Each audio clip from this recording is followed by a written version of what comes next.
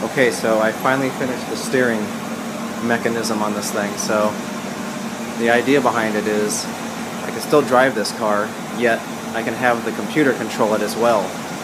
So without having to take apart any of the steering, you know, because I have it set up with a chain to the motor on the steering. So the old way I was having to take off the chain and if I wanted to drive it, you know, normally.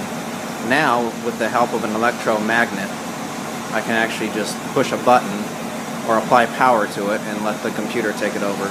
So let me show you what I mean. So here's the actual setup. There's the motor, and that's the steering shaft down there with the nice new uh, sprocket and everything put on. So if I control it with my uh, Super Nintendo controller, you gotta have one of those. That's the only way it'll work. So I can control the motor, no problem. And as you can see, as I do that, the wheels do not move. However, I can still turn the steering wheel normally. And you can see that the steering, the wheel moves fine.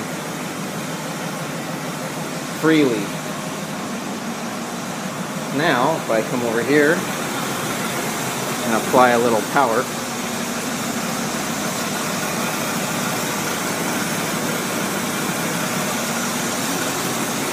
Now we're going to see some serious stuff.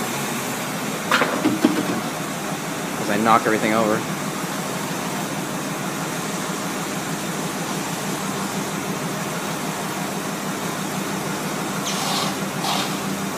It's jacked up a little bit. But, uh, yeah, this thing's awesome, man. I'm so happy with it.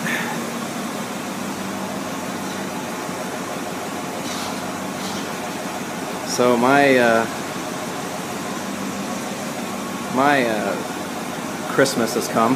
That's for sure. It's uh, a company in uh, Tempe, Arizona, Valtech, are the ones that uh, helped me with this, and they set up the. They made the car. I designed it, and they built it for me, and they didn't call me crazy. Well, I don't think they did. They might have thought I was crazy, but I don't know. But it, it, turned out really well, so I'm really happy with them and the work that they did.